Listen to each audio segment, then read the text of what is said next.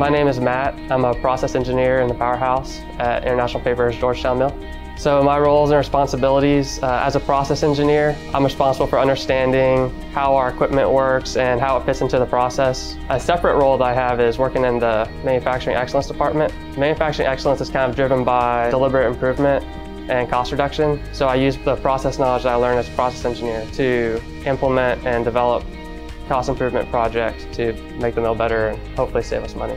I don't really have a normal work day and it's one of the things I love about my job honestly because I think two weeks into the job I was managing a $30,000 project on changing a carbon filter, which is one of the ways that we filter our water before we send it to the boilers. I was brand new to working in international paper and I was already working with contractors and writing a scope of work. I think I would get bored of coming into the same thing every day. I love working in a paper mill. It's very exciting. It's kind of like three industries rolled up into one.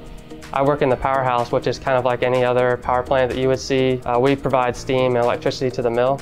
And then there's the pulp mill. They actually generate chlorine dioxide on site. So they're like a chemical plant. They also cook and pulp wood chips. And then there's the paper mill, which is like a manufacturing facility. And that's where the paper comes off the machines and is formed into rolls.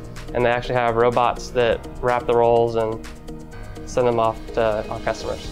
REACH is a development program for new hires out of college. I've been very impressed with how it's been executed so far since I've been here because they take a lot of effort to give you relevant information. We have forums and conferences, and then when you first start, you have an orientation. It's a great way to network with other reachers, but also subject matter experts who work in the technology department for the company and other mill experts that work uh, at mills across the country. You don't really see how structured and how well de developed the REACH program is until you're actually in it, experiencing it. And I doubt there's even a handful of companies out there that have as strong as a development program as REACH. So you hear infinite possibilities, and it sounds kind of cliche, but with the size of International Paper, it is infinite possibilities.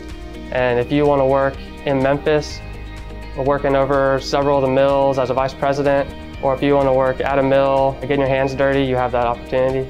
And there's a role for everybody.